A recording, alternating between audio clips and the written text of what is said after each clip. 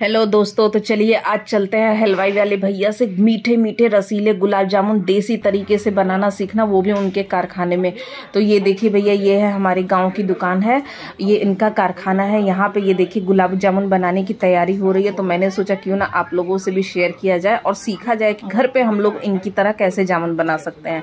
तो इन्होंने देखिए बताया कि खोए को सबसे पहले लेके उसको काफ़ी देर तक मसला जाता है पाम से, ताकि उसमें बिल्कुल भी दाने ना रहे, जिससे कि हमारी गुलाब जामुन चिकनी और सॉफ्ट बने। अब इसके बाद इन्होंने गीले कपड़े से इसको ढक दिया है और छोटी छोटी लोइयाँ लेके दोनों हाथों से दबा दबा के गोलियाँ बनाने लगते हैं। अब देखिए, इसके बाद इन्होंने तेल चढ़ा दिया है, एक भैया तेल चढ़ा दिए हैं और उसमें इन गुलाब जामुनों को धीरे धीरे करके, एक गुलाब जा एक एक करके सारी जामुनों को डाल दिया है और कलछी से किनारे किनारे से चला रहे हैं। आज को इन्होंने बताया कि आज को बिल्कुल मीडियम टू स्लो ही रखना चाहिए, नहीं तो आपके गुलाब जामुन जल सकते हैं। और बिल्कुल भी कलछी से जामुन को टच मत करिए किनारे किनारे से बस चलाइए।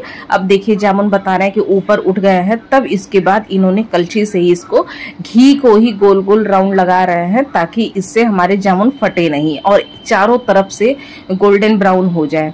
ये देखिए बिल्कुल बा, बारीकी से एकदम किनारे किनारे से चला रहा है। इसी तरह आप भी जब जामुन अपने घर पे बनाइए तो इसी तरह से देख लीजिए ट्रिक इसी तरह से चलाइए। बिल्कुल पलटे से आप टच मत करिए जिससे कि वो टूटे ना। ये देखिए उधर एक बैच हमारा तैयार हो रहा है। इधर और सब लोग भी मिलके जामुन की गोलियाँ बना रहे हैं। उसमें बीच में ये फिलिंग भी भरते हैं। काजू और किशमिश का, जिससे कि बीच में जो आते हैं ना, खाने में बहुत अच्छे लगते हैं। ये देखिए, ये हमारे हो रहे हैं। ये बैच तैयार हो गया। इसको चीनी के सिरे में डाल दिया गया।